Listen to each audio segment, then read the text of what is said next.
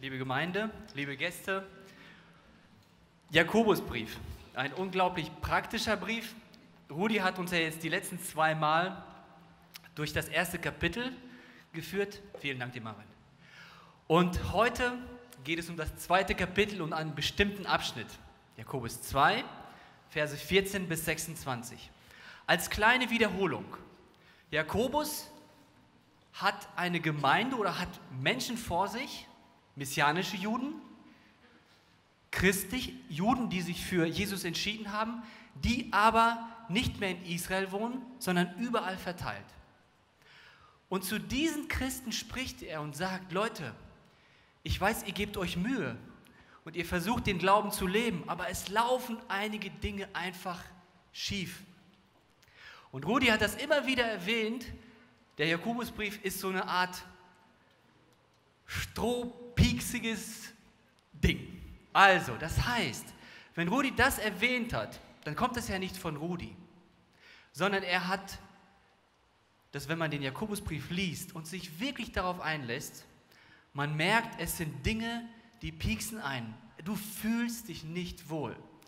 Einer schrieb sogar, der Jakobusbrief ist ein richtig schöner Schlag in die Magengrube. Und mit dieser Absicht schreibt Jakobus jetzt den Brief in voller Liebe. Überhaupt dir nicht weh zu tun oder dich fertig zu machen. Aber er hat auch keine Angst, dir weh zu tun, dich zum Nachdenken zu bringen und mich zum Nachdenken zu bringen. Mich einfach zu überprüfen. Rudi hat in den ersten Kapiteln gesagt, Prüfungen im Leben führen zum Durchhaltevermögen. Und das ist ganz interessant. Bei der Vorbereitung hatte ich immer wieder Gespräche mit Leuten aus unserer Gemeinde und die hatten immer einen Satz im Kopf. Wenn ich die Prüfung nicht bestehe, drehe ich eine Runde. Das ist krass, Rudi. Das ist so bei den Leuten sitzen geblieben, bei einigen Gesprächen. Das heißt, irgendetwas möchte Gott uns hier was sagen in der Gemeinde.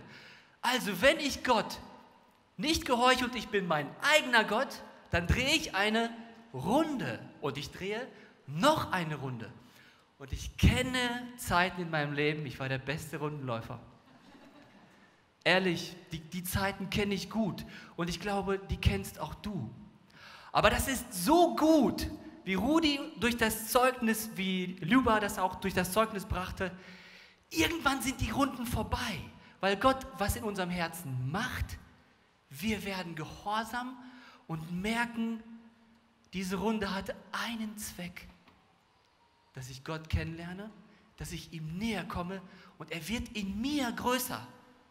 Nicht ich werde größer, er wird größer und wir werden stärker, reifer und können den nächsten Step wagen.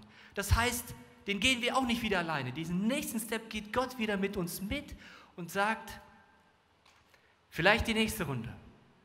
Und so werden wir reifer im Glauben. Mein Thema heute ist Jakobus 2, 14 bis 26. Lass uns mal die Stelle lesen. Jakobus 2, 14 bis 26.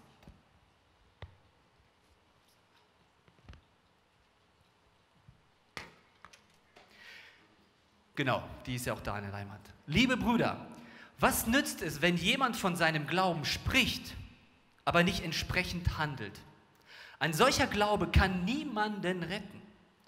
Angenommen, jemand sieht einen Bruder oder eine Schwester um Nahrung oder Kleidung bitten und sagt, lass es dir gut gehen, Gott segne dich, halte dich warm und iss dich satt, ohne ihnen etwas zu essen oder etwas anziehen, anzuziehen zu geben. Was nützt ihnen das? Es reicht nicht nur Glauben zu haben. Ein Glaube, der nicht zu guten Taten führt, ist kein Glaube. Er ist tot und wertlos. Nun könnte jemand sagen, manche Menschen haben Glauben, andere vollbringen gute Taten. Und jetzt sagt Jakobus, dem antworte ich, ich kann deinen Glauben nicht sehen, wenn du keine guten Taten vollbringst. Aber ich kann dir durch mein Handeln meinen Glauben zeigen. Du glaubst, dass es nur einen Gott gibt. Und das glaubten die Israeliten. Kennt ihr noch die äh, Predigtreihe davor? Es gibt nur einen Gott. Das glaubten die. Da hast du recht. Das glauben auch die Dämonen. Und sie zittern vor Angst. Krasse Stelle. Aber trotzdem bist du ein Dummkopf. Wann wirst du einsehen, dass ein Glaube, der nicht zu guten Taten führt, wertlos ist? Weißt du nicht mehr, dass unser Stammvater Abraham vor Gott gerecht gesprochen wurde, weil er seinen Sohn Isaac auf den Altar legte? Wie du siehst, vertraute er Gott so sehr, dass er bereit war, alles zu tun, was Gott von ihm verlangte. Sein Glaube wurde durch sein Handeln vollendet. So geschah genau das, was die Schrift sagt. Abraham glaubte an Gott und Gott erklärte ihn für gerecht. Er wurde sogar Freund Gottes genannt. Ihr seht also, dass ein Mensch nur dann, wenn er auch handelt, vor Gott gerecht gesprochen wird und nicht allein aufgrund seines Glaubens. Auch die Hure Rahab wurde durch ihr Handeln vor Gott gerecht gesprochen, als sie die Kundschafter versteckte und sie auf einem anderen Weg in Sicherheit brachte. So wie der Körper ohne Geist tot ist, so ist auch der Glaube tot ohne gute Taten. So wie manche jetzt schauen, habe ich bei der Vorbereitung auch geschaut. Und ich betete intensiv und ließ auch für mich beten, weil es geht nicht darum, was ich sage, sondern es geht darum, was möchte Jakobus uns, was möchte der Heilige Geist uns durch diesen Text sagen. Der war gar nicht so leicht. Ich bin Gott unglaublich dankbar, dass er mir Frieden geschenkt, geschenkt hat über einen Schwerpunkt. Leute, ihr seht dieses Öl. Das ist ein 5W30 Öl für unseren kleinen Opel äh, muss ich immer wieder nachgießen. Wenn die Ölstandsanzeige zeigt, Öl muss nachgekippt werden. Oder ich gucke und merke, da muss was rein. Es gibt aber auch dieses Öl. Das ist ein Keimöl. So, denkt ihr, ich kann das fürs beide Öle für, fürs Auto nutzen? Nein. Es ist extrem wichtig, dass ich aufpasse, dass ich dieses Öl verwende da steht nämlich EcoPower für viele, VW, Audi, Mercedes, Opel. Und okay, das brauche ich 5W30.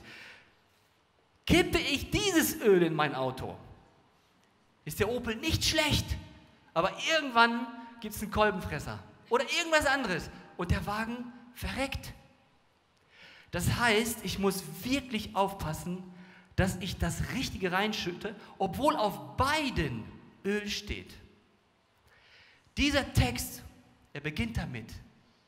Glaube ist nicht gleich Glaube. Öl ist nicht gleich Öl. Und behaltet das bitte immer so im Hinterkopf. Glaube ist nicht gleich Glaube. Wenn wir bei dem Bild bleiben, dann kann man sagen, es gibt einen Glauben, den kann man reinschütten und der funktioniert. Es gibt aber einen Glauben, da gibt es einen Kolbenfresser, der funktioniert nicht. Das möchte Jakobus uns nahebringen. Und ich wünsche uns allen Gottes Segen, dass wir das einfach mitnehmen durch diesen Text. Vers 14. Liebe Brüder, was nützt es, wenn jemand von seinem Glauben spricht, aber nicht entsprechend handelt? Ein solcher Glaube kann niemanden retten. Das ist die Neues Leben Übersetzung. Ich habe sie ganz bewusst gewählt heute.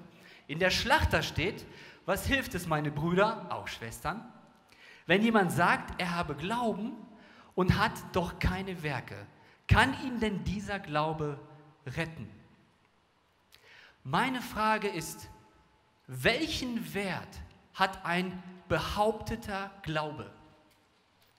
Welchen Wert hat ein bloßes Lippenbekenntnis?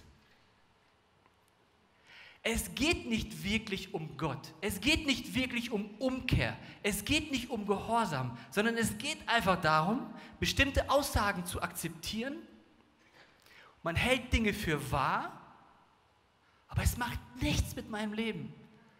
Im Alltag macht es nichts mit mir. Ich bin auch nicht bereit und habe auch gar keine Lust, mich mit dem Wort zu beschäftigen oder wirklich in die Ruhe zu gehen. Ich habe gar keine Sehnsucht, Gott, Gott zu suchen. Welchen Wert hat ein behaupteter Glaube? Interessant ist, dass Jakobus hier nicht einen Mensch meint, der tatsächlich Glauben hat, sondern er behauptet, Glauben zu haben. Und dann fing es bei mir an. Ich wollte einfach, und das hat mir so geholfen, und ich hoffe, ich bringe das für euch rüber, was ist eigentlich Glaube? Also wenn ihr jetzt zum Beispiel in einer Fußgängerzone, und das haben wir immer mal gemacht in der Bibelschule oder auch mal hier mit der Jugend, man macht so Aktionen und fragt Leute, glaubst du an Gott? An einen Gott? dann antworten wirklich viele, ja, ich glaube an einen Gott. Was meinen die oft? Die meinen oft, ich glaube an irgendetwas Höheres, da muss es etwas, da muss etwas da sein, aber es hat nichts mit meinem Leben zu tun. Und darum geht es Jakobus. Was ist echter Glaube? In Hebräer 11.1 steht folgender Vers. Was ist nun also der Glaube? Paulus hatte die Frage auch. Wahrscheinlich war es Paulus. Es ist das Vertrauen darauf, dass das, was wir hoffen, sich erfüllen wird und die Überzeugung, dass das, was man nicht sieht, existiert. Boah, das hat mir so geholfen. Also, jetzt sitzt ein Atheist mir gegenüber. Ein Atheist ist ein Mensch, der einfach an Gott nicht glaubt. Und der sagt zu mir, Peter, zeig mir Jesus hier jetzt auf den Tisch. Leg ihn mir hin. Zeig ihn mir. Beweis ihn mir. Ich kann ihn Jesus nicht auf den Tisch legen. Wie kann ich ihm beweisen, dass Jesus real ist? Hast du dir die Frage schon mal gestellt? Wie kann ich jetzt diesem Menschen, der wirklich aufrichtig fragt, zeigen, dass Jesus real ist? Leute, wir sehen hier die ganzen äh, Lichter. Ich bin überzeugt, dass es in diesem Raum Strom gibt.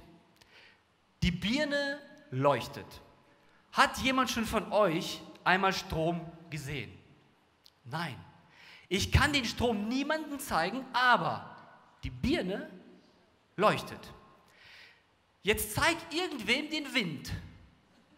Du kannst den Wind nicht zeigen. Beileiben, du kannst den Wind nicht zeigen. Aber der Wind ist da, weil ich sehe, dass die Bäume sich hin und her bewegen und meine Haare, die jetzt so gegelt sind, dass sie überhaupt nicht flattern, aber wenn ich mal so nach, von der Dusche rauskomme, dann flattern die. So, jetzt, ich weiß, der Wind ist da. Es ist Tatsache. Ich kann ihn aber nicht sehen. Niemand zweifelt an der Realität der Liebe. So, jetzt zeig jemandem einmal die Liebe. Ich sehe sie an einem Liebespaar oder verliebt sein. Jetzt versuche ich Musik zu finden. Ich nehme Schraubenschlüssel und einen Drehschlüssel und ich nehme das Klavier auseinander. Und ich suche Musik, Kinder. Habt ihr das schon mal probiert? Sucht mal Musik. Jetzt ist das Klavier voll auseinandergebaut. Ich finde keine Musik. Glaube bedeutet, ich bin überzeugt von einer Tatsache, auch wenn ich diese Tatsache nicht sehe. Obwohl ich Strom, Wind, Liebe und Musik nicht zeigen kann, glaube ich an die Tatsache dieser Dinge, weil ich die Glühbirne sehe, mein flatterndes Haar, den Baum, der sich biegt, das Liebespaar und ich höre ein Klavier, wenn jemand darauf spielt, Eddie Wichmann, und ich glaube an die Musik. Ich sehe Musik. Heftig, oder? Obwohl ich niemanden Gott zeigen kann, ist seine Existenz eine Tatsache. Sichtbar, jetzt kommt's, in Männern und Frauen, die im Vertrauen auf Gott leben. Ihr Leben ist ein Beweis, dass Gott existiert. Luba, du bist ein Beweis, dass Gott existiert. Gott wird groß dadurch. Wenn ich jemanden sehe, der in der Not hat, wirklich schwere Zeiten durchmacht und an Gott festhält, dann sehe ich, Gott existiert. Wenn du einen Christen siehst, wie er sich verhält in diesen bestimmten Zeiten, oder aber, ich hoffe, das kennst du, das habe ich diese Woche erleben dürfen, ich habe über diese Predigt einen tiefen Frieden gehabt. Den Frieden kann mir meine Frau nicht schenken. Den Frieden kann mir mein Sport nicht schenken, mein Auto, meine Arbeitsstelle. Gott gibt mir einfach einen Frieden und ich stehe morgens auf und ich weiß, das ist dran. Diesen Frieden kann ich keinem beweisen, aber er ist da. Die letzte Gewissheit darüber, dass Gott existiert, das ist wichtig, hast du aber erst, wenn du dich selbst auf Gott einlässt. Ja, wenn du dich selbst einlässt. Es ist theologisch richtig, wenn du glaubst, dass Gott allwissend und allmächtig ist. Aber dieses Wissen wird mich nie in die Nähe Gottes bringen. Ich möchte das nochmal veranschaulichen. Es gibt ein Yeti-Glauben, das hat mir so geholfen, und es gibt ein Aspirin-Glauben. Das habe ich, ich habe die Predigt hin und her gehört von Hans-Peter Reuer in meinem Leben, wo mir dieser echte Glauben fehlte, wo mir das Gott zeigen wollte in aller Liebe über viele Jahre. Yeti-Glauben. Reinhard Messner, wer kennt ihn? Yes, viele. Der hat auch ein paar coole Dokus rausgebracht in letzter Zeit. Aber Reinhard Messner, man weiß, er ist krasse Berge hochgestiegen. Da oben ist die Luft auch dünn. Aber Reinhard Messner meint, es gibt Yeti. Er habe das Tier wohl gesehen. Es soll wuschelig sein. Er sagt, es gibt es. Jetzt gibt es ein paar Fans von Reinhard Messner, die glauben das. Die meinen, es gibt wohl den Yeti. So ist es auch mit ganz vielen Menschen, dass sie sagen, es gibt Gott.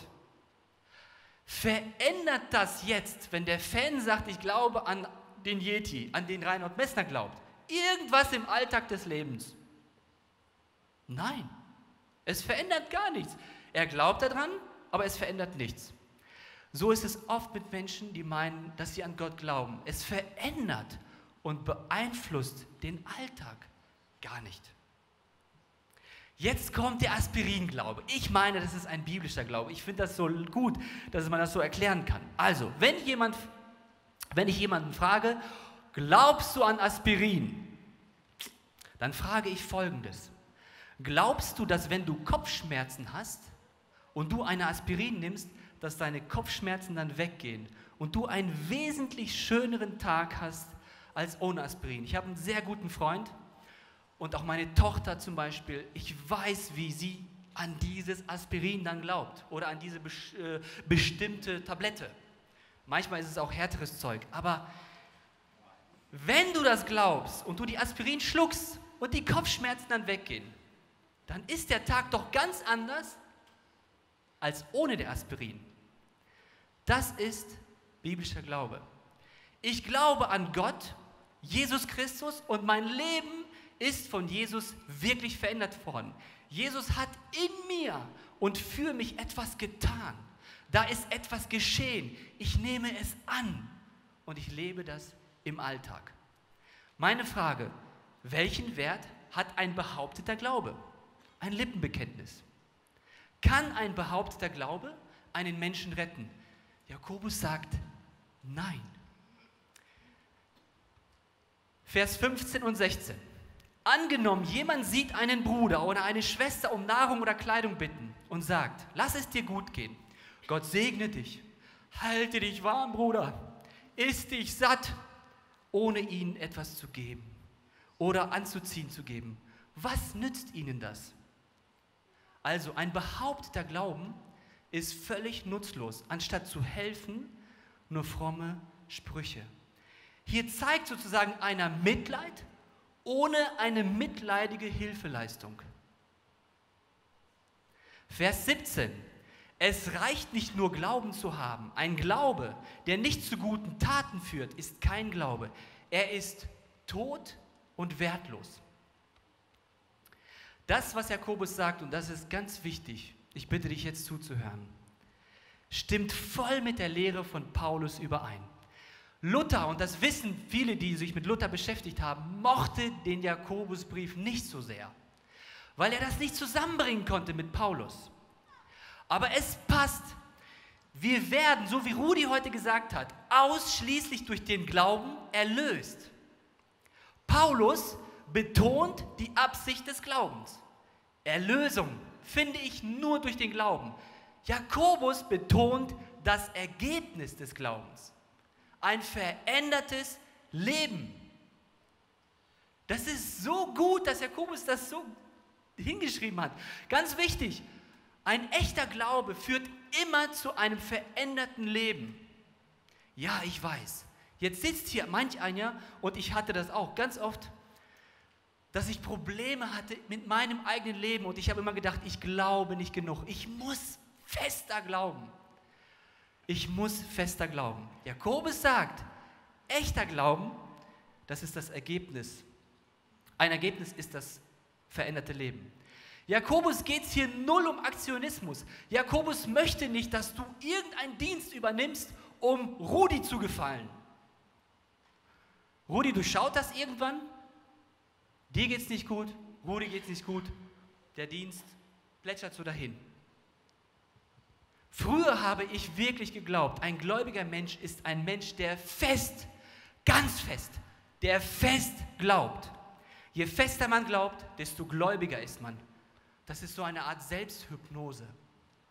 Und ich habe immer wieder gedacht, der Willi mir da gegenüber, der ist gläubiger als ich. Und das hat mir ein anderer gesagt, der Ankläger. Du bist nicht gläubig genug. Du bist noch lange nicht so weit. Du kannst keinen Dienst übernehmen. Du kannst nicht wirklich, du gefällst Gott nicht wirklich. Da muss noch ein bisschen mehr kommen. Und so ein Mensch, der leistungsorientiert ist, vielleicht bist du das auch, hat daran richtig zu knabbern. Und was ist mit Menschen, die leiden? Ich muss fest, fest, fest, fest, fest glauben, dann geht die Krankheit weg. Das kann unglaublichen Druck machen. Der Glaube an Gott ist ein echter Glaube und er bezieht sich nicht in erster Linie auf meinen Glauben. Er bezieht sich auf Gott. Das, ist der, das hat in meinem Leben eine unglaubliche Ruhe reingebracht. Ein wahrer Glaube braucht ein wahres Objekt. Wer von euch kennt den Meschesee in Heiden-Ollendorf? Fetter See, Jesikowski. Wer von euch kennt den Baikalsee in Sibirien, in Russland? Vielleicht mal eine Doku gesehen, die da nicht waren. Ein unglaublich imposanter See. So, jetzt möchte ich beide Seen überqueren. Im Winter natürlich, Kids, ne? Nicht jetzt im Sommer. Ich möchte rübergehen, trockenen Fußes.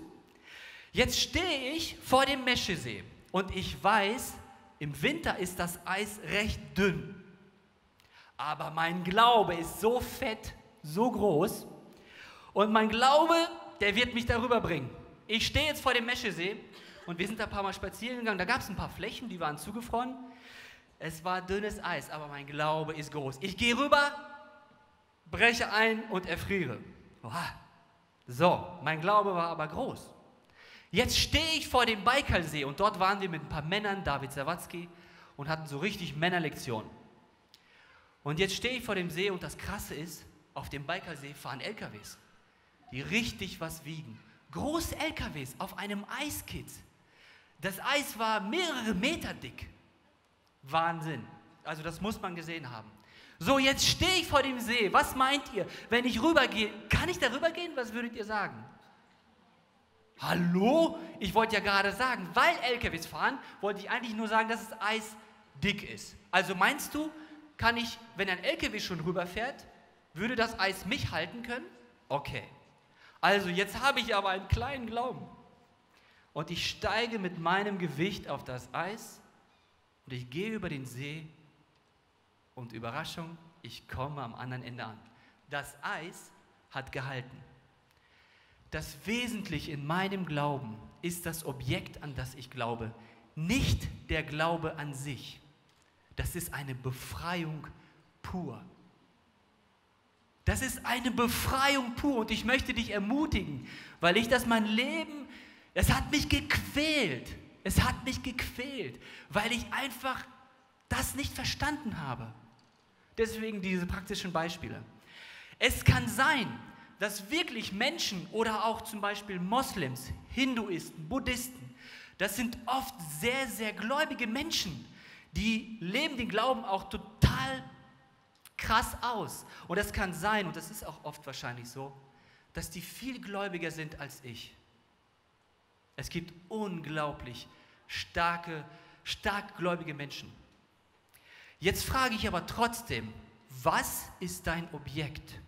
Denn wenn ein Objekt nicht trägt, dann kann mein Glaube noch so groß sein, er wird mich nicht tragen. Vers 18. Nun könnte jemand sagen, manche Menschen haben Glauben, andere vollbringen gute Taten.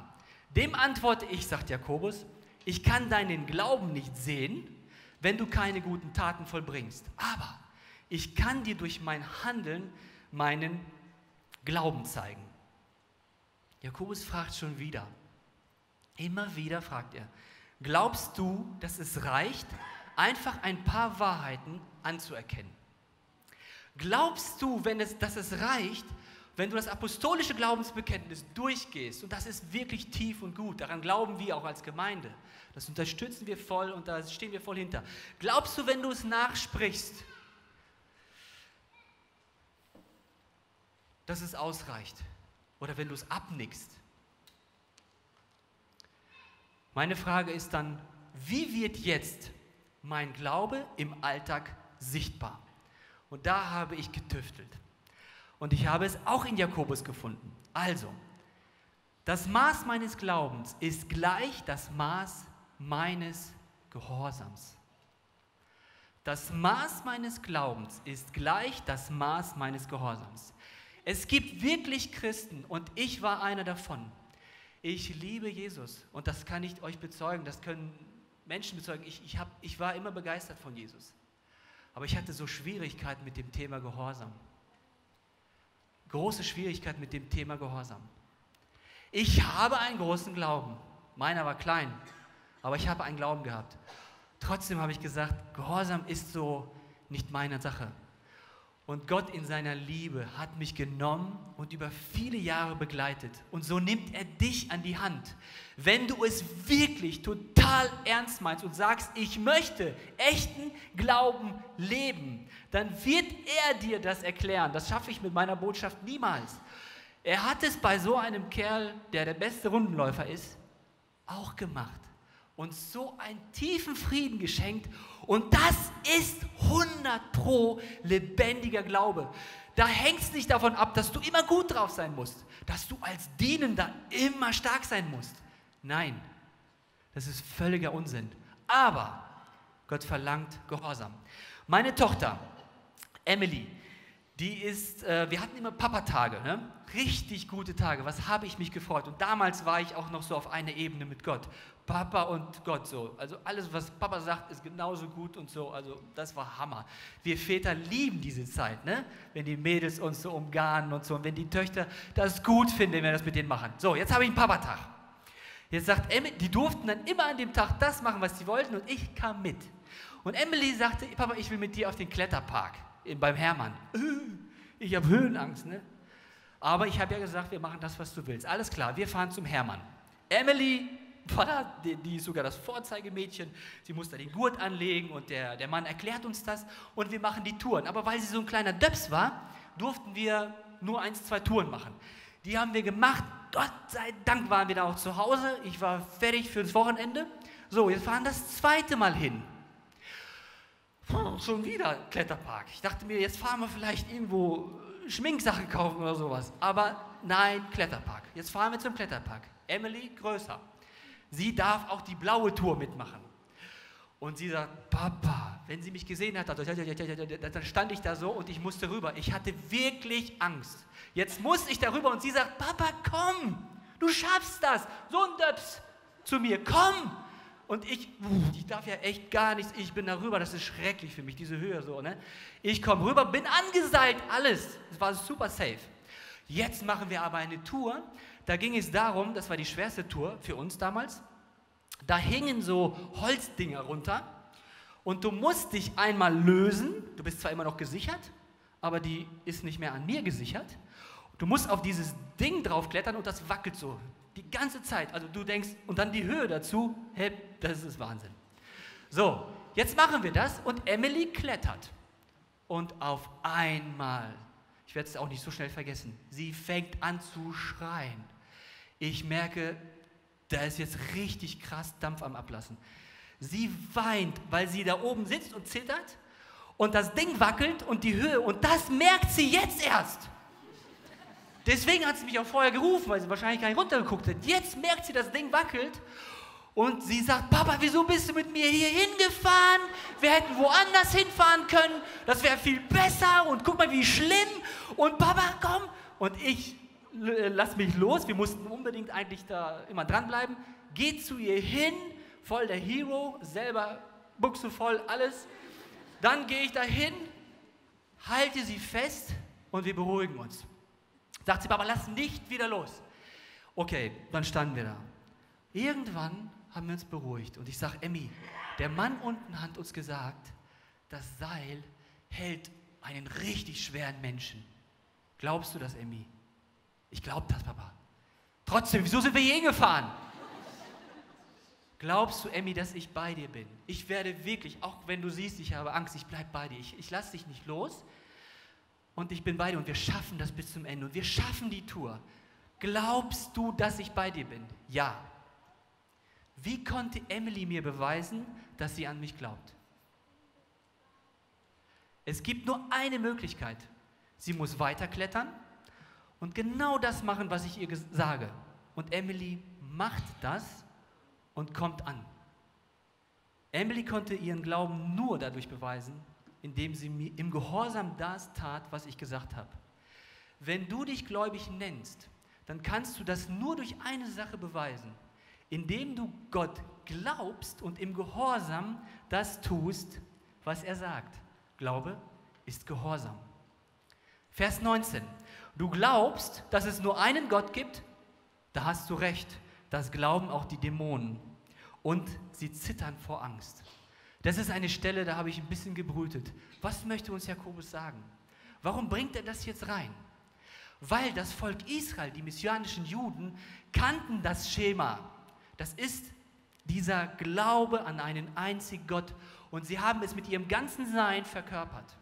Jetzt sagt Jakobus zu denen, wenn du das glaubst, wenn Gott wirklich der einzige Gott ist, da hast du recht, aber das glauben auch die Dämonen und sie zittern. Jakobus sagt sogar, böse Engel bestätigen, dass Gott ein einziger Gott ist und das ist so.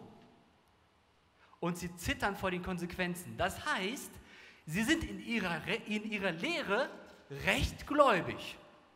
Die Dämonen sind in ihrer Lehre rechtgläubig. Das rettet sie aber nicht. Warum nicht? Die Dämonen kennen die Wahrheiten über Gott, Christus und den Heiligen Geist, aber sie hassen Gott und seine Wahrheiten. Es ist gut, wenn wir glauben, aber das tun die Dämonen auch. Es reicht nicht in deinem Leben, den Glauben abzuwinken.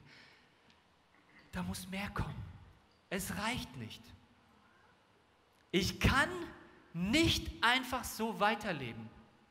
Wisst ihr, ich habe manchmal so den Wunsch, meiner Tochter zum Beispiel zu erklären, welchen Weg Gott gegangen ist, um mir das zu zeigen. Und Gott sagt zu mir, Petra Wonni, bleib mal locker. Mit dir, Hans Franz, hatte ich so viel Geduld. Also hab du mit deinen Töchtern ganz viel Geduld. Bete für sie, umgarne sie im Gebet, bring sie vor mich und lass sie diese Lektion selbst verstehen. Und ich sage es dir, ich wünsche dir nichts anderes, als dass du verstehst, dass echter Glaube immer zu einer Veränderung führt. Und wenn es nicht in deinem Leben eintrifft, dann bete darum. Suche das. Hab Geduld. Und Gott wird dich führen. Er wird dich führen. Vers 20. Aber trotzdem bist du ein Dummkopf. Wann wirst du einsehen, dass ein Glaube, der nicht zu guten Taten führt, wertlos ist? In einer anderen Übersetzung steht für Dummkopf, du eitler Mensch. Und eitler Mensch bedeutet so viel wie leerer Mensch. Jakobus zeigt hier nicht zwei Methoden der Errettung, also sowas wie Glaube kontra Werke, sondern er vergleicht zwei Arten von Glauben. Echter, lebendiger Glaube, der rettet und toter Glaube, der nicht rettet. In der Bibel heißt aber auch Glauben gleichzeitig Vertrauen. Und Vertrauen braucht immer ein Gegenüber. Wer ist jetzt in unserem Glauben das Gegenüber? Gott, Jesus und der Heilige Geist, die Dreieinigkeit. Nicht drei Götter, die Dreieinigkeit. Und diese Personen haben einen Charakter. Und ich kann Jesus oder ich muss Jesus so nehmen, wie er ist. Ich kann mir Jesus nicht aussuchen. Ich kann mir meinen Jesus nicht zusammenbasteln. Der Inhalt meines Glaubens ist Jesus. Wer sein Vertrauen wirklich auf Jesus setzt, der wird vom Neuen geboren, der bekommt seine Sünden. Oh, meine Frau sieht, dass ich schwitze. Das geht nicht. So, jetzt in die Maske und dann geht es wieder weiter. Also, Dankeschön. Wer sein Vertrauen wirklich auf Jesus setzt, der wird vom Neuen geboren, der bekommt seine Sünden vergeben und er erhält ein neues Herz. Echter Glaube ist bereit, Gott zu gehorchen und auf ihn zu hoffen, wo es eigentlich keine Hoffnung mehr gibt. Echter Glaube ist bereit, auf Gottes Seite sich zu stellen und dabei manchmal gegen alle anderen Meinungen, weil er weiß, dass es nur bei Gott Rettung gibt. Und wisst ihr, das Interessante ist, ich hatte jetzt eine Fahrt mit meinen Kollegen und wir waren äh, in Krakau gewesen Und wenn ich jetzt mit jemandem über den Glauben rede, dann bete ich nicht die ganze Zeit, Jesus, gib mir das Richtige, dass ich was sagen kann, gib mir ein Beispiel oder so. Ich sage einfach nur, Jesus, gib, dass ich chillig bleiben kann, dass du groß wirst und dass du einfach, du kennst das Herz meines Gegenübers, dass du durch mich zu dieser Person sprichst. Ich nehme mich da null wichtig und es passiert was Wunderbares. Dann fliegen wir zurück und das ist eine Psychologin gewesen, das waren Hammergespräche. Die haben mich so herausgefordert und ich durfte einfach Zeugnis geben, was Gott in meinem Leben macht. Und dann war sie baff. Und im Rückflug kommen auf mich Leute zu und wollen wissen, was ich damit gemeint habe. Und fertig. Jesus legt denen irgendwas aufs Herz. Ich, Petravoni, muss einfach nur da sein, gehorsam sein. Aber wenn ich nicht den echten Glauben lebe, bin ich leer. Ich kann nichts geben. Ich kann Wissen vermitteln, aber ich kann nicht echten Glauben geben. Zwei Beispiele, die uns Gott gegeben hat, wo wir echten Glauben sehen. Abraham und die Hure Rahab. Verse 21 bis 25. Wenn du nicht mehr, äh, weißt du nicht mehr, dass unser Stammvater Abraham vor Gott gerecht gesprochen wurde, weil er seinen Sohn Isaac auf den Altar legte. Wie du siehst, vertraute er Gott so sehr, dass er bereit war, alles zu tun, was Gott von ihm verlangte. Sein Glaube wurde durch sein Handel vollendet. So geschah genau das, was die Schrift sagt. Abraham glaubte Gott und Gott erklärte ihn für gerecht. Er wurde sogar Freund Gottes genannt. Ihr seht also, dass ein Mensch nur dann, wenn er auch handelt, vor Gott gerecht gesprochen wird und nicht allein aufgrund seines Glaubens. Auch die Hure Rahab wurde durch ihr Handeln vor Gott gerecht gesprochen, als sie Kundschafter versteckte und sie auf einen anderen Weg in Sicherheit brachte. Diese zwei Beispiele und Leute, das ist so ermutigend, dass Gott Abraham nimmt und die Hure Rahab. Beileibe nicht die perfektesten Christen. Also ich glaube, keine Frau wäre gerne mit Abraham verheiratet. Ne? Der hat ja auch gern mal seine Frau als Schwester und so, und dann hat er auch gerne mal gelogen. Also total ermutigend. Er war ein Mensch. Aber Gott benutzt ihn hier als Beispiel. Und die Hure Rahab, sie ist eine Hure, hatte aber echten Glauben. Und das ist unglaublich. In Hebräer 11, 17 steht, Abraham ging davon aus, dass Gott Isaac wieder zum Leben erwecken konnte, wenn er gestorben war. Ich möchte jetzt nicht das Gleichnis erklären, weil das, da wäre eine Predigtreihe, Rudi, die müssen wir irgendwann mal durchziehen. Aber dieser Vers ist unglaublich. Ich habe mich immer gefragt, Gott, warum musste Abraham den Isaac opfern? Er sollte ihn töten. Und ganz interessant ist, dass Gott verspricht Abraham einen Nachkommen und er schickt Abraham sogar eines Abends raus und sagt, Abraham, weil Abraham fing an zu vergessen, guck mal auf die Sterne. Okay, so viel, wie du jetzt Sterne siehst, werden deine Nachkommen sein. Gut, beim nächsten Mal vergisst es aber auch schon wieder und dann ruft ihn Gott raus und sagt, schau mal auf den Sand. So viel wie Sandkörner sind, werden deine Nachkommen sein. Okay, er glaubt wieder.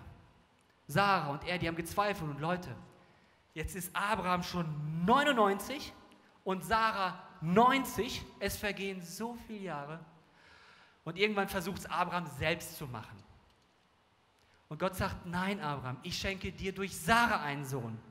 Und jetzt kommt Isaac und er ist in dieser Zeit ungefähr ein Teenager, sagen wir 15 Jahre. Und Gott sagt zu Abraham, ich möchte, dass du Isaac opferst. Wisst ihr, wenn wir diesen Vers lesen, verstehe ich auch, warum Abraham gehorsam war. Er hat in seinem ganzen Leben gewusst, Gott steht zu seinen Zusagen. Gott steht zu seinen Verheißungen. Er wird nicht einen Buchstaben oder nicht einen Millimeter davon weichen. Und wisst ihr, Abraham nimmt das Messer in die Hand und will Isaac töten. Und Gott sagt, stopp! Und dann sagt Gott, nun habe ich erkannt, dass du Gott fürchtest. Gott schätzt einen Glauben, der Gott fürchtet. Echter Glaube ist bereit, Gott zu gehorchen, auf ihn zu hoffen, wo menschlich gesehen keine Hoffnung zu sehen ist. Leute, aus einem Grund. Weil echter Glaube verstanden hat, dass Gott es immer gut mit mir meint. Ist das nicht eine Befreiung? Ich würde jetzt am liebsten fragen hier in die Runde, wer glaubt nicht, dass Gott es gut mit mir meint? Nein, nicht heben, das war eine rhetorische Frage. Aber ich möchte dich ermutigen, der du da sitzt und mit dir kämpfst, weil du diesen Glauben in dir nicht hast. Gott will dir begegnen. Er will dir begegnen. Er will sich dir zeigen. Er will diesen echten Glauben in dir bewirken. Und dieses Verständnis kommt nicht kognitiv in meinen Kopf. Er legt es in unser Herz. Und das sagt dir einer, der lange danach gesucht hat. Ich kenne die Zeiten, wenn ich vorne stand und gesungen habe und ich konnte manche Texte nicht mitsingen. Ich gebe mich dir ganz hin. Nein, ich gebe mich dir nicht hin. Ich will mein eigener Gott sein. Ich konnte das nicht mitsingen. Gott musste in meinem Leben so eingreifen und er geht mit uns so viel Runden, bis ich verstanden habe, dass Gott es immer gut mit mir meint. Der Mann in der Gemeinde bei uns, der seine Frau verloren hat. Menschen, die krank sind hier in der Gemeinde. Wir brauchen nicht verkrampfen und wir brauchen nicht einen festeren Glauben.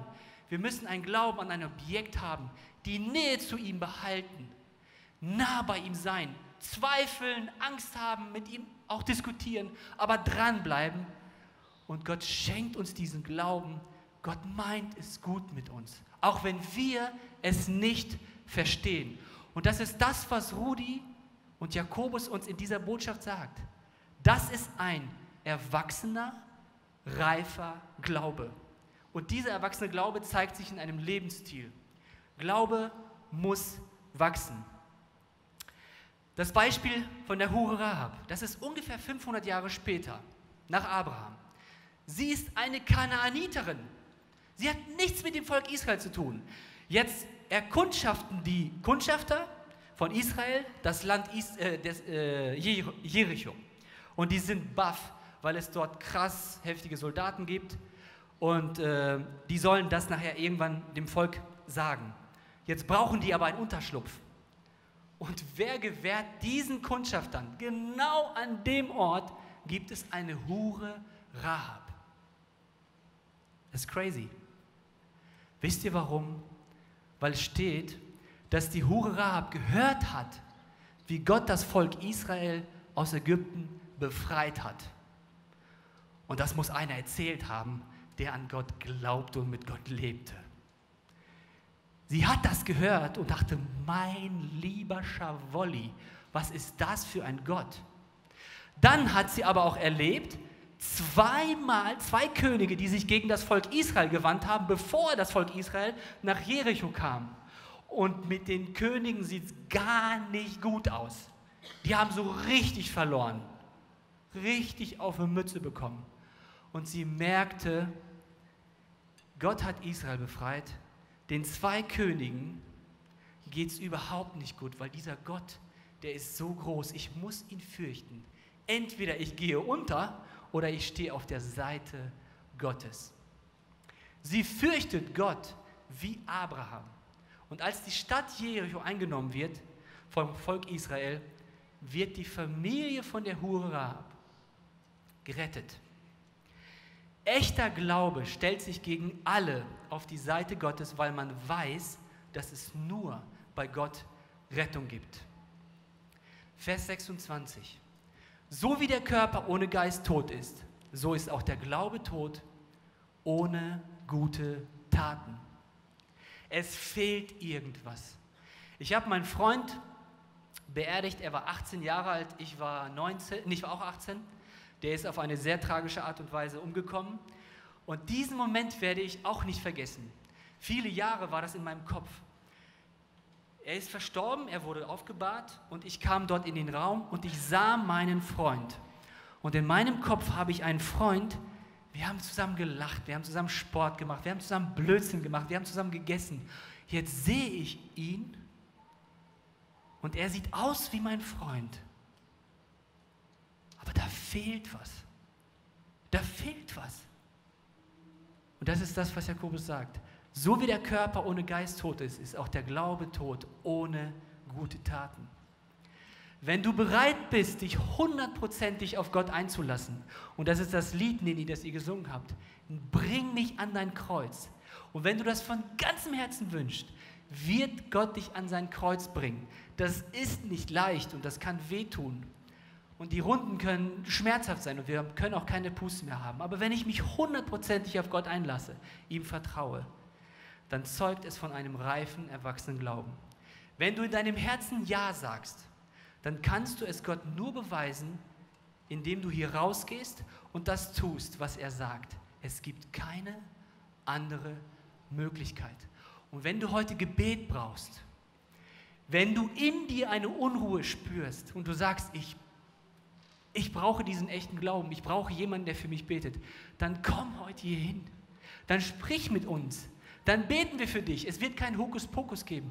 Aber Gott wird es erhören und er wird dir begegnen. Und ich wünsche dir nichts mehr als echten Glauben. Amen. Ich bete noch. Vater, ich danke dir für deine Message. Ich danke dir für deine Liebe, für deine Geduld mit uns. Ich danke dir, Vater, dass du so gnädig bist und so den Weg mit uns allen mitgehst. Wir sind nur Menschen. Du bist Gott. Du bist groß. Und du möchtest das in unserem Herzen sein. Das können wir uns nicht erkämpfen, nicht durch Dienste, nicht durch Werke. Ich bitte dich darum, dass du die aufrichtigen Wünsche in unserem Herzen siehst und dich uns zeigst, Herr dass wir verstehen, dass du es gut mit uns meinst. Und schenk uns Kraft, dir gehorsam zu sein. Ja, der Glaube soll wachsen. Nimm uns bitte in die Hand und schenke demjenigen, der jetzt hier sitzt und damit zu kämpfen hat, Überwindung, dass er es äußert, seinen Freunden sagt, seiner Familie, der Gemeinde und dass du ihn führst und ihm diesen echten Glauben schenkst und diesen tiefen Frieden. Amen.